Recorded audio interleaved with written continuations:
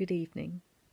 So, originally, I had a really good intro filmed for this uh, running video, only I didn't hit the button properly to make it record. So, my gorgeous spiel, my one off spiel that I had going, yeah, none of that got captured. So, I'm actually doing this intro post run. Um, from what I can remember of the glorious speech I came out with off the top, completely off the top of my head, um, I was talking a lot about how I felt before the run, and basically I wasn't feeling all too enthusiastic about it. Um, I what I did, I promised myself I would get out, I would run one mile, and see how I felt.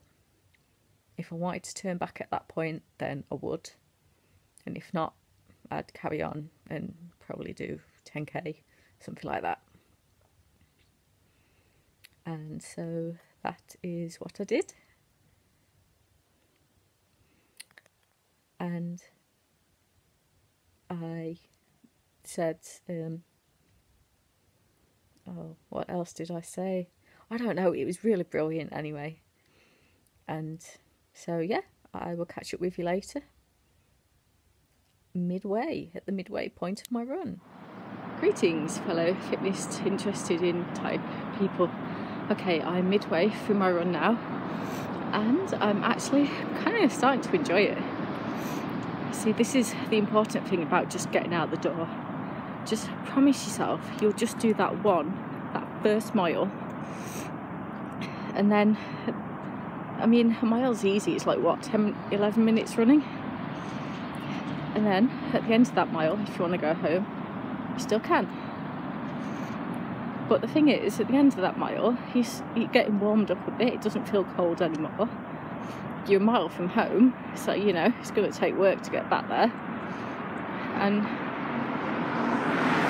well, it's surprising how often it actually ends up leading to another five, six, seven miles, or maybe more.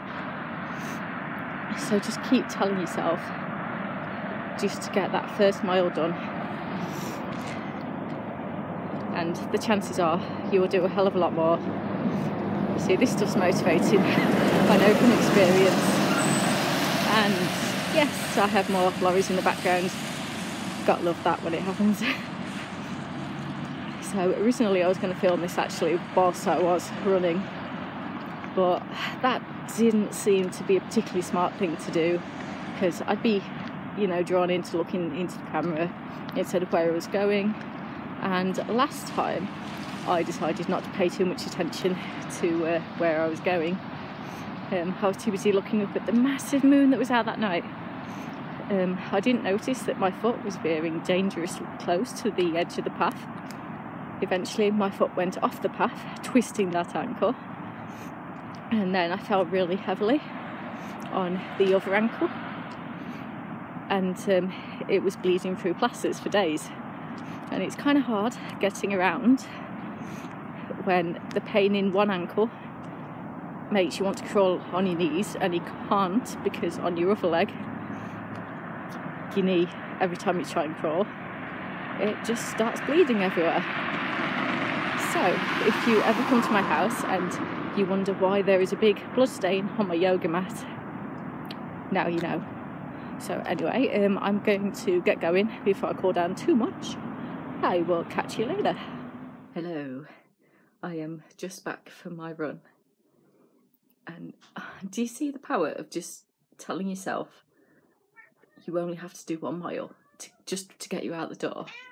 Because not only did I get myself out the door, not only did I run what I thought I would, which was a 10k, I did seven and a half miles.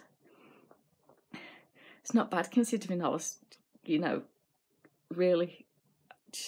I almost didn't even make it out the door after the seven and a half miles. It's my challenge this year to try and get a thousand miles, which works out as about 20 miles a week. So, yeah, I'm on target with this week. It's not bad considering I had to skip a run on Tuesday because it was just too icy. It would have been stupid to go out. So, yeah, I'm very pleased with how I've done tonight. And I'm also very hungry. So, I'm going to go grab some pasta. It's squid ink flavour. Never had it before. Hopefully, it's not terrible. And I will see you next time. Don't forget to subscribe.